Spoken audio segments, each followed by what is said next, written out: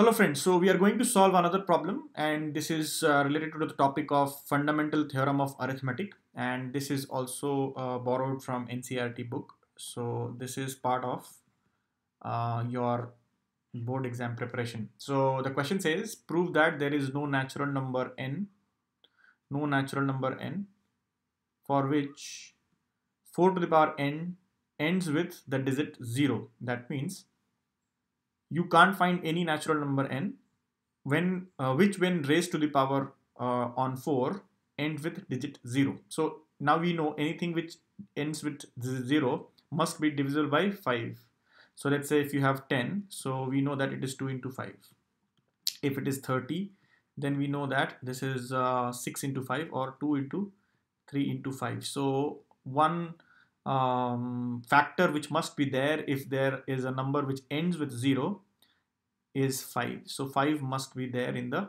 as a factor of that particular number. Now let us take up 4 to the power n.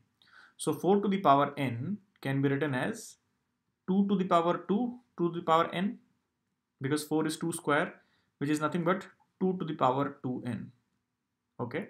So any number let's say this this number 4 to the power n let's say a is equal to 4 to the power n.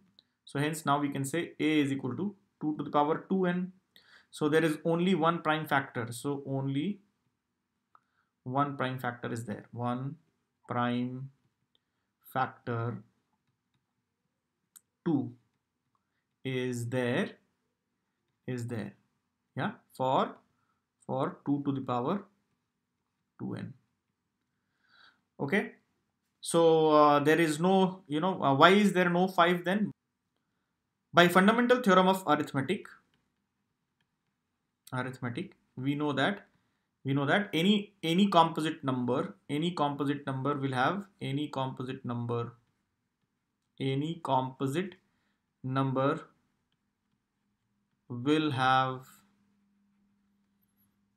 unique prime factorization.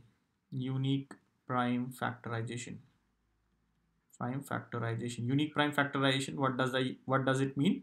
It means that uh, if you have expressed any composite number in terms of its prime factor you cannot really find anything beyond that. So all the prime factors will be will be there in that expression right? So here here we say that the only prime factor available is 2 there is no 5 in it. So there is no chance that the you know uh, this number would be divisible by 5 so if this is this num this number doesn't carry any prime factor uh, as 5 then there is no possibility of having 0 at its units place. So that is what the proof would look like.